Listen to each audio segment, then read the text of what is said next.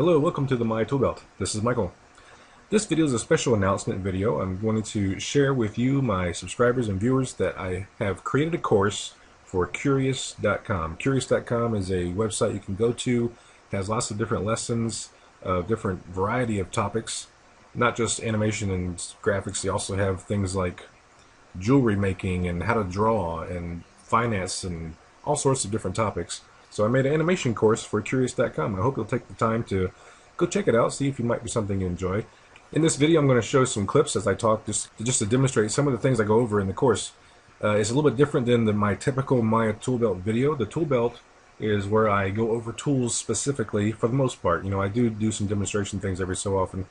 But for the tool belt, I usually will take a tool such as, oh, I don't know, let's look at one. Mesh Combine, for instance. I'll take a video of just talking about Combine and how it works. The Curious.com course is a little different. It's actually a, an entire series to demonstrate how to create something specifically.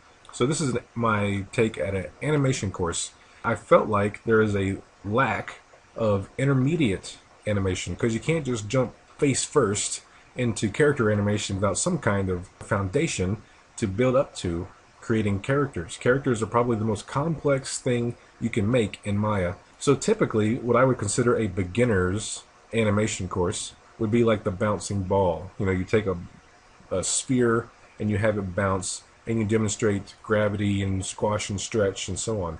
That's that's what I would consider a beginner's animation lesson, how to make a ball bounce in a scene, right? For Curious.com, what I proposed to them was a kind of a beginner to intermediate course to go from the bouncing ball to kind of give you something to, to work up towards and work through on your way to doing more advanced topics such as character animation. So this course will take a spaceship. I, I provide the model, I provide the textures and everything.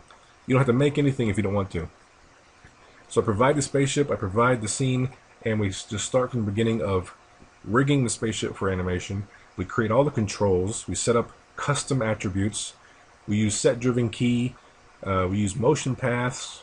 We just go over all sorts of different animation things that you don't necessarily learn in a beginner's guide. You're not necessarily taught in an advanced guide either because they kind of assume you already know all this stuff.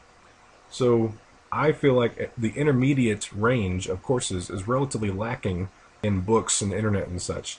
Uh, even in schools, you'll learn the bouncing ball, the jack in the box. I remember doing that when I was in school. And then they, they just say, okay, now go create a character, and it's just this huge hurdle.